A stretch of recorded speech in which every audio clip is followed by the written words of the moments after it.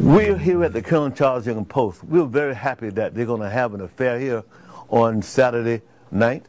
Uh, we're very fortunate, uh, and we wanted to be a part of it because they were really, uh, these are veterans that, uh, that uh, belong to this post.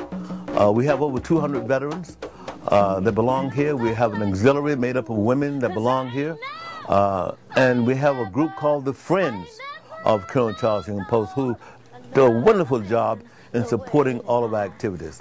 So we're going to have a great time here on, on Saturday night, and we hope that everybody will come uh, out to see them, recognizing that this is not the uh, arena.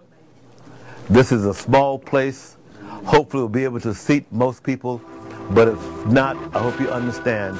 But I hope most of you can come and get in and have a wonderful time and see a wonderful performance on that night, February the 4th, from 6 to about 12.